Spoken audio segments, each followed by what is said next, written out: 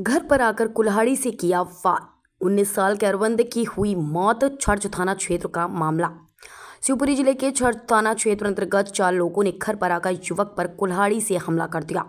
इसी कारण उसकी मौत हो गई। जानकारी के अनुसार मृतक के भाई दीपक ने बताया कि उसका भाई घर पर अरविंद था। तभी घर पर चार लोग आए और कुल्हाड़ी से वार कर दिया।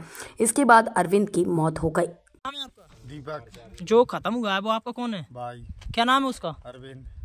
अरविंद कितनी साल उम्र होगी उसकी? उन्नीस साल। उन्नीस साल। तो ये कैसे क्या हो गया ये? इसने कुलाई मार दी घर यहाँ गए किसने मारी है? बड्डे ने। भरत ने? भरत क्या? कितने लोग थे ये लोग? चार लोग थे। कौन कौन बड्डे इधर राय मुन्नी। तो क्या पुरानी रंजिश थी क्या? आपकी लड़ाई पुरानी थी क्या? नहीं। कुछ पुरानी लड़ाई नहीं थी। तो कैसे क्या हो गया तो फिर ये?